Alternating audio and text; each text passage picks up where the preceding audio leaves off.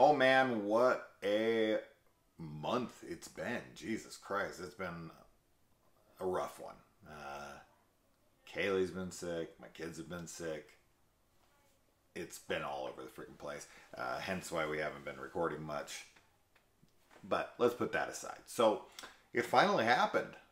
Shudder decided to start sending me screeners. Now, I didn't get this till like a day or two before the movie came out, but I'm now on their list and I'm going to be sent screeners for Shudder. It finally happened.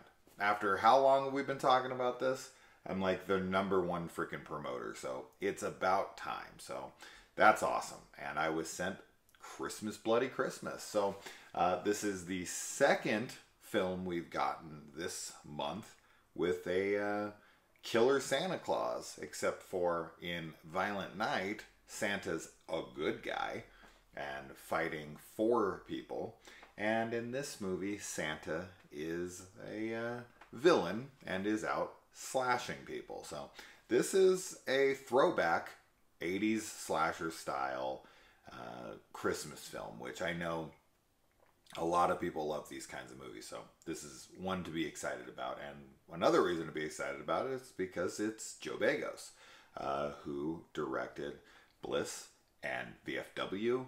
Um, and I'm a big fan of VFW, so I, I was I was very excited to see what he was going to be up to next. And when I saw that he was making this robotic killer Santa Claus movie, I was you know in uh, in the spirit of 80s slashers, I was like, well, I mean, sign me up, obviously. Um, so what's this movie about? It's about a killer robot Santa Claus on Christmas. I mean, what else do you need to know? It, it, it kind of reminds me a tiny bit of the premise of you know something like the Child's Play remake. Um, a, a it's not a toy per se. It's just it's a um, a Santa Claus that's put into toy stores, and they get recalled last minute because they're having malfunctions and they're built by like uh, the, army or something ridiculous. Uh, and of course, this one malfunctions. It hasn't been recalled quite yet and it goes on a murderous rampage. Now, it's just a, you know, it, it's obviously just like a dude in a suit. Um, but so they don't really make it look robotic, right? It just, it's clearly just a human. But um, yeah, it, it's it's it's very humanoid, uh, so it just looks like a Santa. But the actor like moves like he's a robot to a degree. Um, so okay, first things first. Um, I thought this movie was super cool. I I will say um, that the screener we got, and I hope this isn't an issue going forward with these screeners, but um, the screener we got was in like some weird, uh, some weird, uh, like it wasn't HD, right? It wasn't 1080p or even 720p. It was some weird number. it was like 536p or something, and that was like the highest quality you could bring it to. Uh, now I know Begos likes to make films look grainy and old, like a VHS or something like that's his style, and that's how this film's done. Much like a lot of his films, he's an '80s uh, a file and, and wants to have that kind of uh, aesthetic to it. Um, but that should still be in HD. Like VFW is released in 4K, so you know you, you can still release it in, in the highest quality possible and and show off the best effect of the video. So whatever i got was was pretty terrible looking. Um, so i didn't get to see the film as clear as i would have liked. Um, now um, with it being this robotic killer santa claus movie i think that um, say hello to my little robotic cat um, I think that this film would immediately get thought of as silly and goofy. And weirdly, the film is played completely straight throughout. Like there's comedy in it, but it's straight comedy, right? It's it's it's not parodying anything. This isn't some uh, like uh, you know slapsticky kind of tongue in cheek, like self-aware kind of comedy like you would expect from a movie like this like no and i think that's i think this was really great about this film is that if you really go back to like the early slashers right if you go back to the heyday of the 80s slasher no matter how ridiculous the the premise is or, or what it is right? Like if you take silent night deadly night like nowadays a lot of those kinds of movies like oh it's a killer couch it's a killer Velocipastor or some shit right? It's always played for gags sharknado whatever. But in the 80s they were like serious. And that's what made them funny and great was just like wow this is so ludicrous but they're taking it so seriously like they're actually trying to be like a good film or like try to be scary and like most of the time they're not at all um, but they just have that charm to them and and that's what he's going for here. He's doing a very straight film.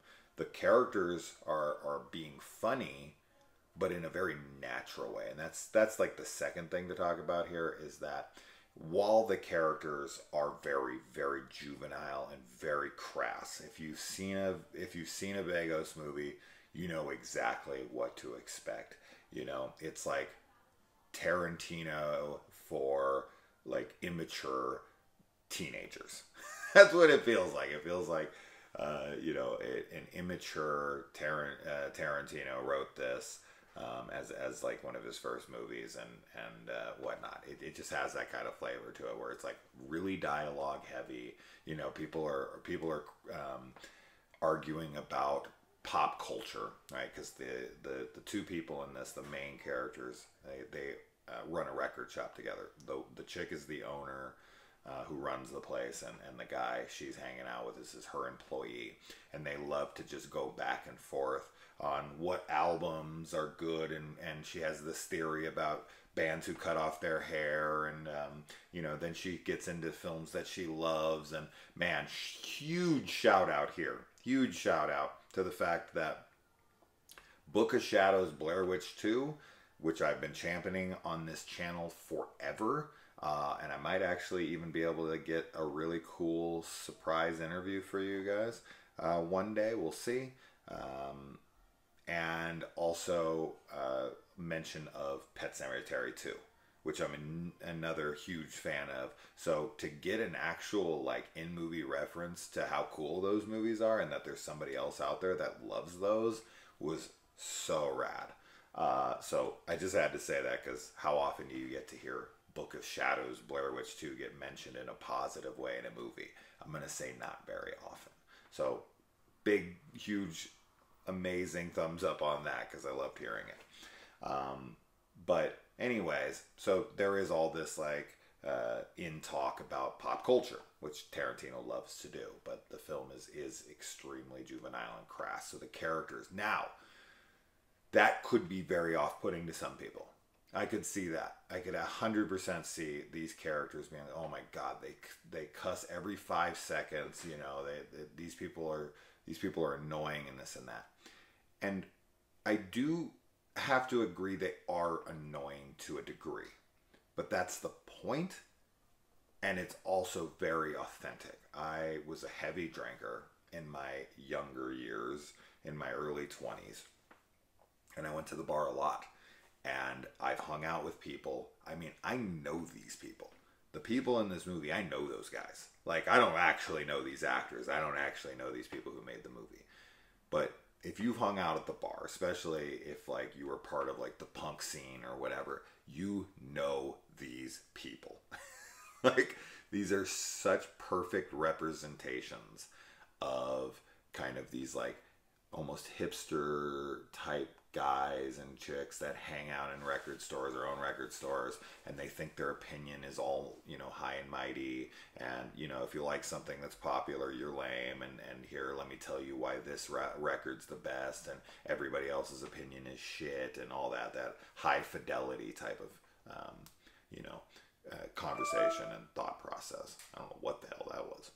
Um, so uh, I, I I did find them slightly annoying and irritating, but in a very sincere and honest way. A way that, like, when I was back in the bar days, I would have been one of them. I would have been there with them and, and having those conversations, and I would have been annoying. And it's because I've moved away from drinking that, you know, when you're hanging around drunk people, when you're sober, they're fucking annoying. And these people are kind of like that. So I, I, even though I did find them to be off putting to a degree, I found that to be the the point. And and and and it really landed for me in that way because I know these people and I know they exist. And and I did end up really liking them um, throughout the remainder. And I and I really quite enjoyed the chemistry between them. I actually thought there was something palpable there. And and I think they sold kind of this um, unspoken romantic thing that's like unsaid and, and can't be said you know that kind of like um, playground flirtation where you don't want to admit you like someone, so you're like overtly mean to them to prove that you're not actually interested in them. That kind of shit. Uh, the the couple in a movie or couple in real life that hang out all the time, and you're like, oh my god, just fuck already, just just do it. Oh my god, you guys are so clearly into each other, and they're like, what us? No way. Um, so I, I did really like that. As far as the the kills go, um, the kills are a little hit and miss for me for sure. I think there's some great ones, and I think there's some missed opportunities. Uh, I would, of course, hope for a director's cut that has more gore, but I don't. I doubt it exists. I really wish we would have um, seen every kill on screen and that we would have lingered a little bit more on the kills because I think there is some really cool effects here and, and everything in the film, from what I can tell, is practical. Um, so big kudos to them on that. Uh, I just really wish we could have spent a little more time um, on those kills, but some of the ones we do get are pretty rad. And once again, had I been able to actually see them, and I will buy this movie. Uh, I definitely want it in my collection. I think it is absolutely going to become um, a, a cult Christmas film. I think people are definitely going to be throwing this on every year for here um, from here on. Uh, it'll go right next to something like Silent Night, Deadly Night, super well. It'll be a it'll be a perfect companion film for that. Um, and even the later sequels that are getting released through Vestron, that three, four, and five pack that they're releasing for super cheap. Uh, that and the dentist set that they're releasing, they just give those Vestrons away now. It's crazy how cheap those things are, uh, which is great for me, uh, especially since I own every one of them and am continuing to collect them especially when they're putting out rad shit like Silent Night, Deadly Night 3 through 5, and Dentist 1 and 2 for like 12 bucks. It's ridiculous. Um, but yeah, so the kills are, um, they're good. They're good. They're not amazing because while there might be a couple that are, I really wish the couple that are were the rest of the film. Now, that could be a budgetary issue, could be anything. I don't know. But for my own personal taste, now, I am desensitized. And a lot of people are like, oh my God, the kills, this and that. They did it with Violent Night. They were like, oh man, it's so violent and this and that. I thought Violent Night was super tame, right? So my, my bar is a little different than some, but this being a horror movie review channel and knowing my audience, if you're like me, you're going to be like, man, I wish this was more, I wish there was more on screen kills. I wish there was, it was more violent. I wish we saw more practicals, this and that. But what we do get on screen is pretty cool. Um, nothing we haven't seen before, nothing super inventive, nothing crazy, but cool. You know, some axes to the face, stuff like that. Looks good. I'm about it, right? So that's all good and, and fine. Uh, little disappointed in the kills, but definitely not like a low point for the film at all. Um, a super high point for the film, uh, the way it looks from what I can tell, right? I'll hopefully get a better look at it in a future HD 4K release. They release VFW in 4K, as I said, and that was only like 10 bucks.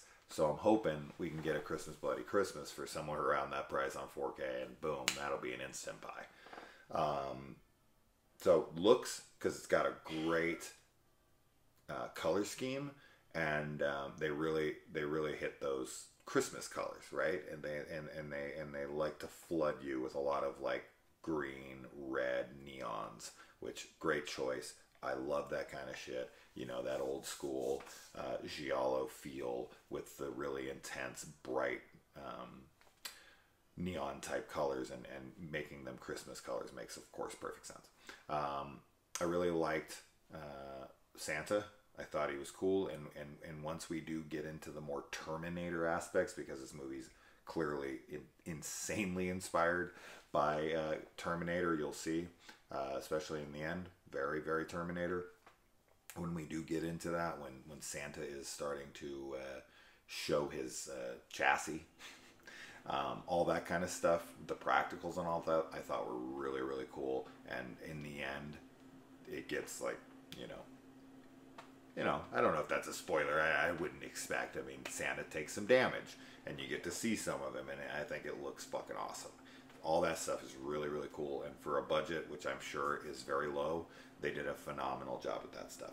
And um, lastly, on the major pros, uh, the music, which this is kind of a gimme, so to speak. I mean, I guess not, but for the most part, this is the kind of thing I would expect them to nail in these. I feel like these kinds of movies really do a great job with the music. That you know, whoever they hire for that with the synth soundtrack and stuff, they they obviously have a passion for it, and this one delivers, as do a lot of these. Um, so the music is is is great, and um, and really complements the film very well. Um, so it was a surprise to for this film to take itself seriously and to build characters and to not um, be super goofy and to not have like completely throwaway characters. This this feels like, uh, as I said, it, it kind of feels like a high fidelity written by a juvenile Quentin Tarantino um, with some pretty decent gore thrown in as an homage to Terminator. Um, that's the best way I could describe the film. Um, so if you're looking forward to it, I think this is absolutely worth seeing for sure. It's going to be on Shudder tomorrow, um, and it is currently in theaters. And if you're a Begos fan and it's near you, absolutely support the shit out of it because stuff like this deserves your money and your time and attention, even if they can't deliver on every single little thing, like you know kills that we might want uh, like where it's like a missed opportunity. I'm sure there's a reason. If Begos could have given it to us, he would have. I mean, I've seen enough of his work now to know that the guy wants to put every kill on screen. He wants it to be glorious. He wants it to be memorable. And sometimes you're just limited by budgets or by whatever. So I think this is a I think this is a great effort. I think this is this landed really really well, and I think this will become, as I said, a yearly annual Christmas uh, film for everyone to watch. So um, I, I was pleased with it. Uh, I don't know what Kaylee's thoughts are exactly. Um, I, I think she liked it, but I don't think she liked it as much as me. I think she was a little less on it just because of like she was a little more disappointed in the kills. But uh, I I really enjoyed it. I really enjoyed it and heavily recommend it for anyone who's into 80s Christmas slasher movies and they're kind of wanting to get back to that feel of the Silent Night, Deadly Nights, and so on. Um, so another win for Joe Begos. Not surprised, and once again, Dora Madison makes an appearance because it isn't a Joe Begos film until Dora Madison shows up. So uh, cool to see her, even if it's not for a long time. I expected to see her, and when she came up, I was like, there she is. there, there she is. Of course she's here. It's like Johnny Depp in a Tim Burton movie or something. It's like, where is he? Okay, there he is. Although usually with Johnny Depp, he's like the main character, so um, you know he's not like a background character. Uh, but or should I say like Peter Jason in a John Carpenter movie, right? Like in his in his more like mid range films, like in The Mouth of Madness, uh, They Live or something. It's like, oh, there he is. Oh, there he is. Or George Buck Flower or something. You know, those characters that you're always waiting. It's like, oh, there he is. I knew he was going to show up. Um, that's Dora Madison. So yeah, she does make an appearance. It was cool to see her and uh, I'm really looking forward to rewatching this in better quality. Uh, on Shudder, it should probably be, and that'll be the true test. Is on Shudder here pretty soon, uh, in like two hours. Uh, I'm gonna look and see to uh, if if the quality is better because this screener was shit. Uh, not to knock the screener because I'm happy to have gotten it finally, but man, it I hope the next one doesn't look this bad. Let's hope it's in 1080 at least. so anyway, guys, uh, I look forward to hearing your guys' thoughts and see if any of you go to the theater and check this out and let me know what you think of the quality of the film and uh, you know both the picture and, and of course the quality of the film as a whole. Uh, so Merry Christmas to everybody, even though it's way early. But we got the Christmas tree up. We're in the Christmas spirit, even though everyone is about to become a spirit because everybody's so sick in this freaking family right now. Oh my goodness. All right. Well, we love you guys. See you soon. Bye.